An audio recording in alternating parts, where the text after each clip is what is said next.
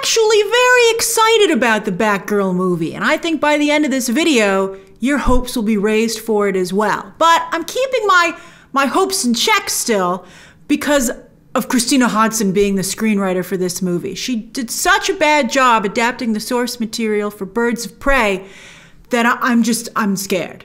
I'm scared. And that's probably why I think I had a little bit of a bad reaction to this suit, and maybe some of you did as well. Maybe even subconsciously. Maybe after I say this, you'll be like, oh, yeah, that's why I had a little bit of a problem too.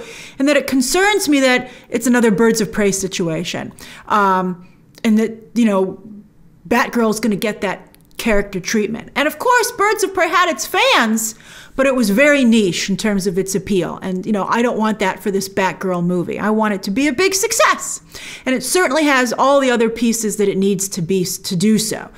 At this point, Christina Hodson really just has to get out of the movie's way. And I, I think that the two directors from Bad Boys for Life, I have a lot of faith in them. And so I think hopefully, you know, you know, on a movie, the directors have like the final call on stuff. So I, I have hope, hope for them to, to guide this to a good place. I'm still scared though. All right, let's go over it. Now, Batgirl is about to start filming action scenes on location in Scotland this coming week. They've done a couple of like civilian scenes, but next week she's probably going to wear the suit on set.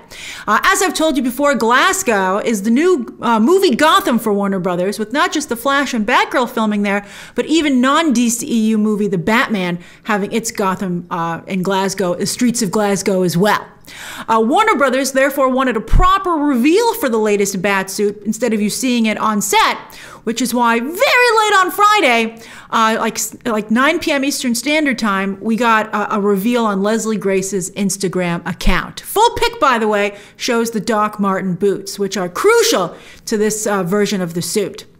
Uh, and there are two quotes accompanying the pic, uh, which didn't really make it over to Twitter, but they were over on Instagram. And they're important because they're both pulled directly from Batgirl Year One. Uh, two different scenes, actually. One against her jujitsu instructor, and another when she uh, makes her crime fighting debut at a costume party. That's right. In Batgirl Year One, Barbara's first batsuit is a costume for a party, meant to get under her dad's skin, who she feels is being overprotective of her. But when Killer Moth crashes the party, Batgirl is born. Love it. In the comic, Killer Moth later teams up with Firefly, who Brendan Fraser is playing in the upcoming HBO, HBO Max movie, and I'm sure that's one of the reasons they picked his character uh, for this film. Because this is clearly very heavily based on the Batgirl Year One comic. Side note, I highly recommend you read that comic, not only to get ready for this movie, but because it's fantastic. You can even buy it in a bundle with the equally good Robin Year One, who we'll also be talking about in this video.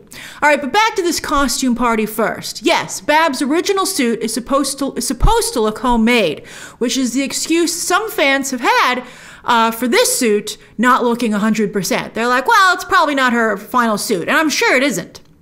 But to me, this looks too good for homemade. It's stuck in this weird middle ground where it's too good for homemade and not good enough for professional, but it doesn't really hit in either space because of that. It does you're not like, "Ooh, it's a homemade suit. Cool." But you're not like, "Oh, it's her cool professional suit" either. Uh, I'd have preferred something closer to Spider-Man's homemade suit that was shown briefly in Civil War. You know, so so low rent that it has a comedic element to it. I think that would have been fantastic. For instance, in Batgirl Year One, Barbara's heel breaks off mid-fight, which leads her to make the decision to swear off high heels in her costume going forward. I love practical stuff like that, especially for female characters. I think that's just fabulous. Um, and I, I, hope maybe we'll get a very a, a version of that here. It's just such a great moment. Also note that in the Batgirl Year One comic, the costume is black, blue, and yellow, as it was in the animated series, and also in her very first appearance in the comics. And to be honest, I would have preferred that color palette for this as well. We'll talk about the purple in a moment. But you know what? I want to keep an open mind here. So that's why in this video, we're going to do pros and cons for the new suit. And then I want to talk about Jim Gordon and Dick Grayson. All right, so let's start off with pros. I took a poll yesterday, well, Friday going into Saturday, and with almost 20,000 votes, about 70 of you 70% of you fall into the positive category somewhat positive and that's even with snyderverse uh, fans gunning for this movie so that's impressive that's impressive i mean uh, not for me might have won the overall poll but when you look at how the other three are you know in the positive section uh, That's incredible. That's really a good sign for the movie. Also, as you might recall, I did not care for the first looks at Wonder Woman or Harley Quinn's costumes and came to like them quite a bit. So maybe that'll happen here too. And no matter what we think of this costume, Leslie Grace looks absolutely stunning in it. Look at those cheekbones! Angelina Jolie vibes for sure. Robin also wears bright colors, so this makes Batgirl kind of more at his level appear, right? Again, he's going to be in this movie. We'll talk about him in full in a moment. Uh, and this more colorful look also, come to think of it, fits with where the DCEU is going from this point onward with Wonder Woman, Aquaman, Flash, and Shazam. Don't worry, I'm going to do a con side in a moment. And this is a promotional still, so the lighting in the movie might make it look very different, right? Uh, it certainly doesn't look anything like the concept art that they floated out there, and it is com- it is comics and Adam West show accurate. You know, the recent Burnside suit and Yvonne Craig's look on that classic show. Now, on that note, Let's transition over into the cons list, right? Because I agree with one of your tweets, and that's while I intellectually respect this suit, I just personally don't care for it. I look at it and I go, not, not what I would have gone with. It's way too shiny. One of you sent me this great cosplay version of the Burnside suit, which has matte fabric, which I think makes a big difference. Um, and I and also I think you could have a cool Frank Miller thing where in the darkness the yellow just stands out, right? That could have been really cool. That could be really cool because all the yellow pieces on this version of the costume. But I've just never liked Barbara uh, Gordon in purple. I don't like the purple suit for her. I know they used it on the recent Harley Quinn show. I don't care. I don't like it. And this is what, once again, DC's problem of dividing its fans rears its ugly head again. And that there are multiple versions of their characters where the fans don't overlap. Fans are in very decisive camps. Like this. Some of some people like the purple suit. Some a lot of people don't. And in fact, Warner Brothers for some reason always chooses, or is it Christina Hodson, always chooses the smaller fandom, right? I mean, the Burnside suit only lasted four years in the comics before DC switched her back to blue, yellow, uh, gray, black. So even in the comics, the Burnside suit wasn't a huge hit. It might have been a huge hit in the in like the media, and I think people might have been like, "Oh, it's a cool suit," but they didn't read the comic. It didn't translate into sales for the comics uh, long term. Uh, so far, with the exception of Aquaman, which benefited from being also comics accurate, uh, and also, you know, I think James Wan brings an edginess to it because of his horror background, and um, Jason Momoa is kind of an edgy guy. Uh, but DC fans, for the most part, don't like candy-colored DC movies. Just look at how what happened with Wonder Woman 1984, which stripped out all of its grittiness for the sequel and paid for it dearly. And how does this suit fit with Michael Keaton's Batman? If they're do, I mean, if and also if they're doing a twist on Batman Beyond, I would have preferred to have some red in the suit, but then that becomes a problem because then it becomes too much like Batwoman's suit. Ah, crazy. I do feel personally there's a little too many Bat people, and I really hate that Harley Quinn has become kind of a member of the Bat team in the comics. That's like a horrible idea. I hate that so much. All right, so anyway. Also, after looking at this photo for a day or two, it hit me what I dislike about it the most, and that's that it's a glamour beauty shot. And Leslie Grace looks stunning, but Barbara Gordon would never do a beauty shot. It's just totally out of character. She's spunky. She's a spunky character.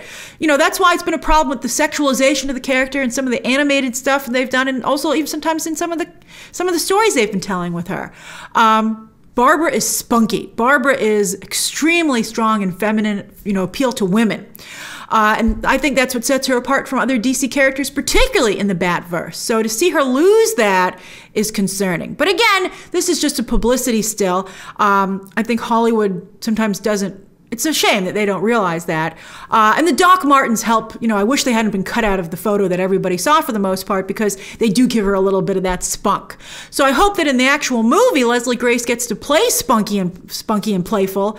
Uh, even the famous Burnside debut cover for that co uh, costume has her taking a selfie, which I think was really cute. And I think that's the vibe that we want to see in the actual movie. We don't want any voguing on the rooftops of Gotham. It's totally out of character. Finally, I want to talk about let's talk about the supporting characters for this movie because Babs has amazing ones, right? From Batgirl Year One to even the current Joker comic, which is very much a Jim Gordon comic as well. It's really actually Joker and Jim Gordon. Great comic. I, I really like it. James Tynion's actually done, I think, some pretty darn good work with Batman. Uh, but uh, all of his Bat comics. I think he's about to leave the, the, the Batverse to do some other stuff, but he's done he's done some real nice stuff. Although he did do the Harley Quinn as a Bat member, family member of the Bat family. But uh, everything else was good. But anyway, take a look at the recent Joker annual. They have a very good flashback story there in particular. And in fact, I was reading it the other day, and I was a little behind on my comics, and it's what made me feel particularly good about this movie. Because Barbara's origin story is very much about living in the same house with her father, J.K. Simmons, coming back strong, who knows or at least suspects his daughter's secret identity, but respects her enough to let her keep her secrets until she's ready to share them. She never really shares them. Uh, well, and he's, so he's struggling as a father, worrying about his daughter's safety, and as a police commissioner, having firsthand knowledge of exactly how, how much danger she's in. In fact, they often find themselves at the very same crime scenes, and he has to play along with her game, not only to respect her, but because he's not 100% sure that she's Batgirl. He's pretty sure, though. Uh, that's going to be great for uh, for um, for J.K. Simmons to play if he gets to do that.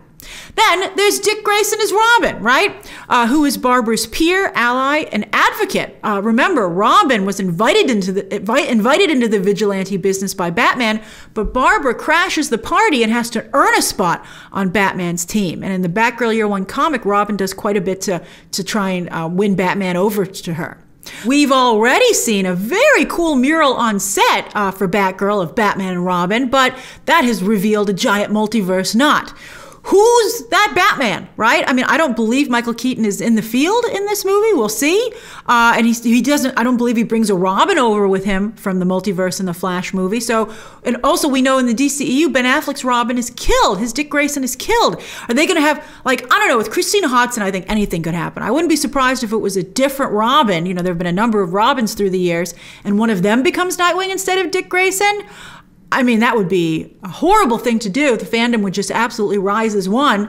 Uh, but I could see Christina Hodson writing that, and that makes me very nervous. I haven't been able to peg down any of the specifics on this Robin slash Nightwing. I just know he's going to start out as Robin in this movie, become Nightwing, get his own projects. And there are rumors about casting, but I haven't been able to nail any of them down. Although one of the rumors makes me feel that it could be a different, it could be a different, um, it could even be Damian, which would be interesting. But but how did when did this happen? When did Batman get a Robin?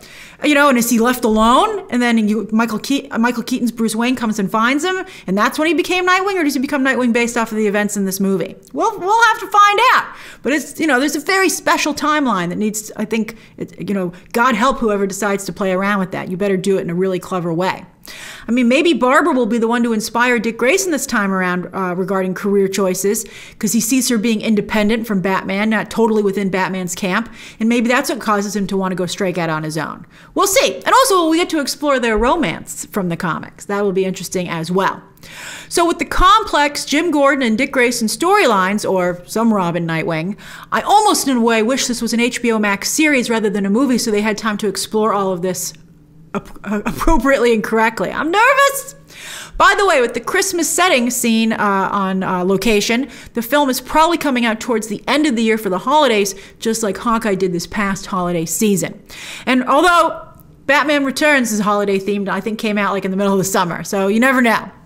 And remember, Snyderverse Luthor got out of jail. He broke out of Arkham. So this cover story that was spotted on set that's got to be a different Luthor. But then, what Luthor is that? Maybe when Flash comes back, he things up, messes things up a little bit.